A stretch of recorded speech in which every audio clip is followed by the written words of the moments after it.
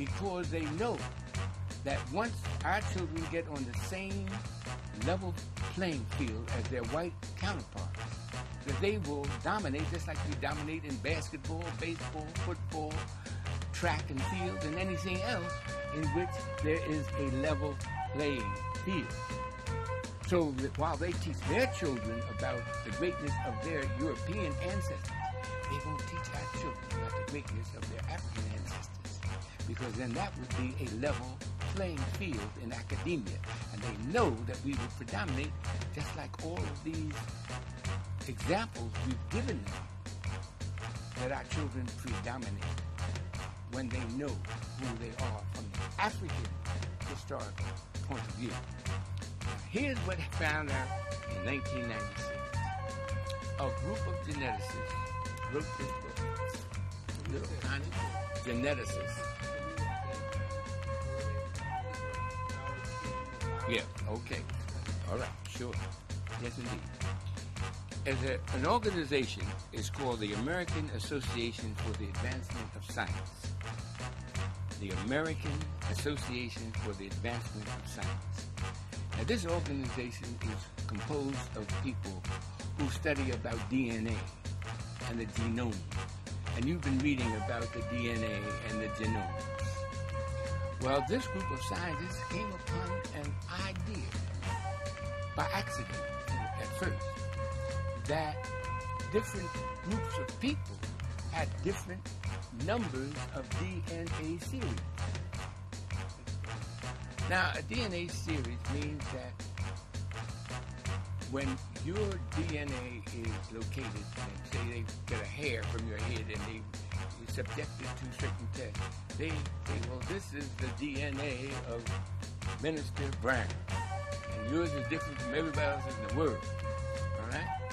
Then they found further that not only are their DNA series different, but the number of DNAs in there are different in different groups. Whites have a different number of DNA, and blacks have a different number of DNA series. Apes have a different number of DNA series. Then they found this amazing thing that the greater the number of DNA series,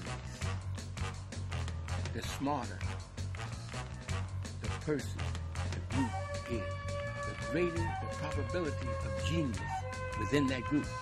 So they tested the orangutan, these 15 geneticists from around the world.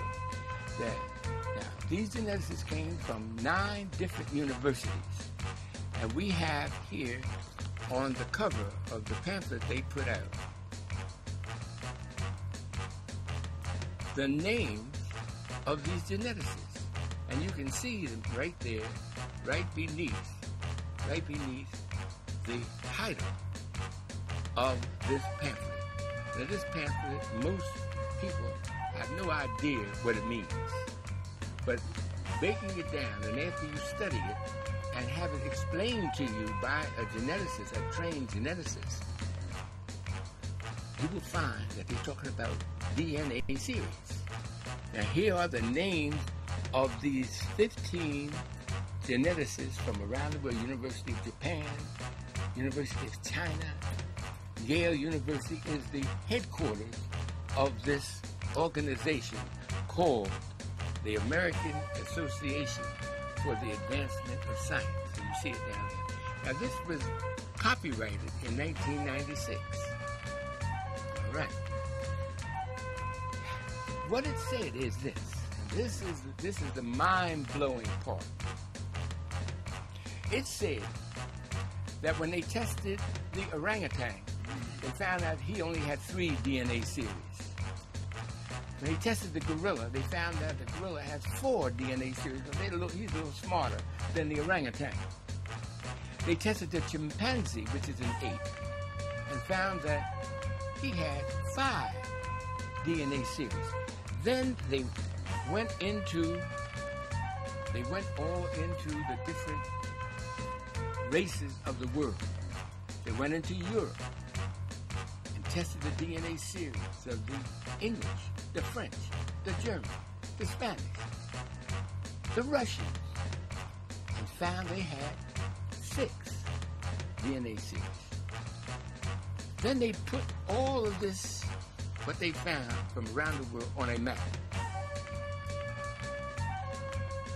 And this map really is called the intelligence map of the world because they tested 116 different human Mm. and found their DNA series number. All of them, all over the world, have six. And they put the n- number in form of a little flag that you can see on this map. These little flags have a color. And they show, oh, this, this is upside down. Sorry. yeah.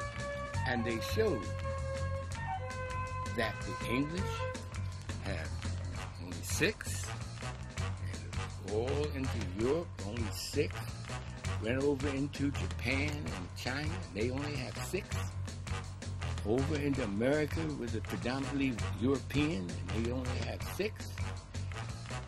Then they came to Africa, and they came to the part of Africa. All the rest of them, they put in little flag colors those flag colors are, are orange red, you notice. But when you come to Africa, found out that the African people have nine, nine DNA series from here just below the Songhai Empire down to the foot of Africa all those 10 nations, of which African Americans descended from one of them. We have nine DNA series, the greatest possibility of genius in Africa. Now, it's answered this age-old question, how can a people survive being told they're nothing for 400 years?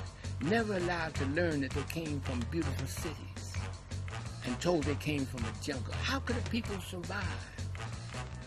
How can a people become champions in everything they touch? Because they have nine DNA series, while the rest of the world This is why they copyrighted this. You notice, outside of this, now this map is taken, I took this map right from this page here. And I blew it up so that the world could see it. Even though this is copyrighted, I can't let you have this book because it's copyrighted. The title of the book is called Glo- Global Patterns of Linkage Disequilibrium at the CD4 locus and modern human origin. Global patterns of linkage disequilibrium at the CD4 locus and modern human origin. Now you have to be a geneticist to even know what, that's, what they're talking about. But when we broke it down and interviewed uh, Dr. Kidd, the head, he's the chairman at Yale University, he broke it down into plain, everyday English so that the world would know that the African American is descended from those people who gave to the world the Great Pyramid, gave to the world science, gave to the world mathematics. Black man named Ahmose gave algebra to the world 3,700 years ago. It's in the world books. In it's in the encyclopedia. They don't want our children to know this. Because then that would make the level, the playing field level for white children.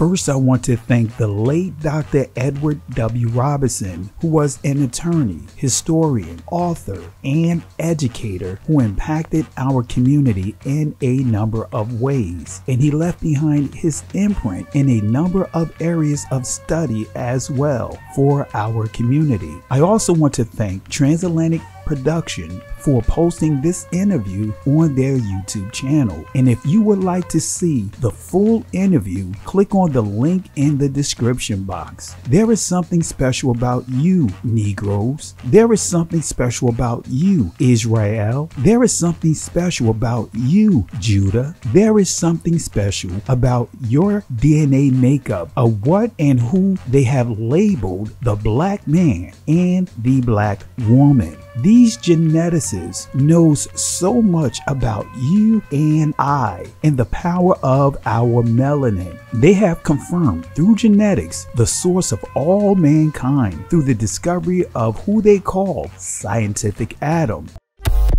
Wells comes face to face with the man he's been searching for. A new portrait of the common ancestor of every man today. Adam.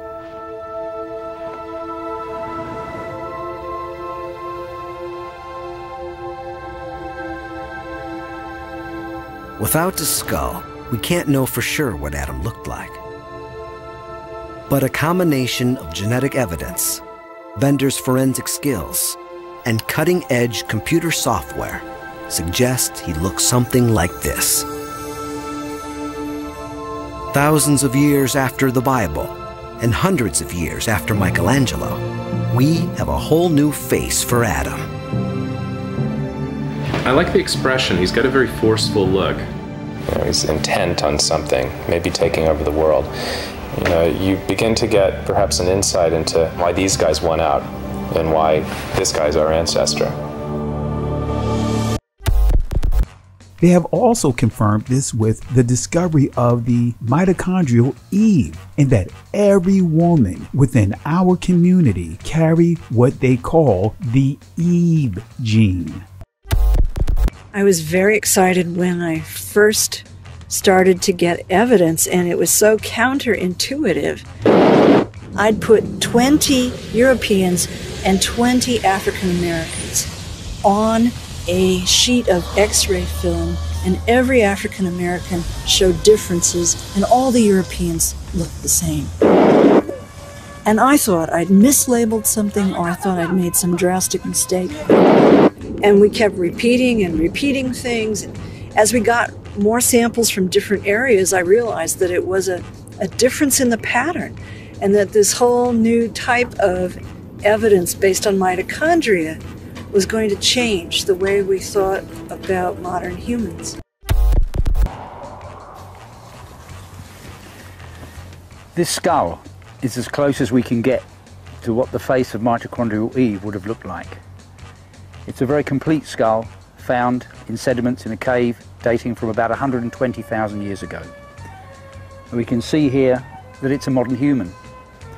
We've got a high rounded vault to the skull, a face that's tucked in under the cranial vault. And this is what she looked like.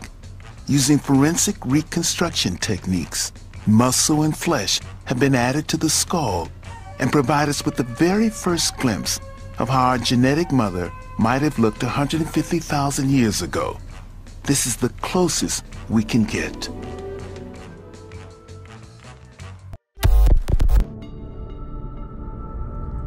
Two hundred thousand years ago, the DNA in scientific Eve's mitochondria picked up some of these random changes.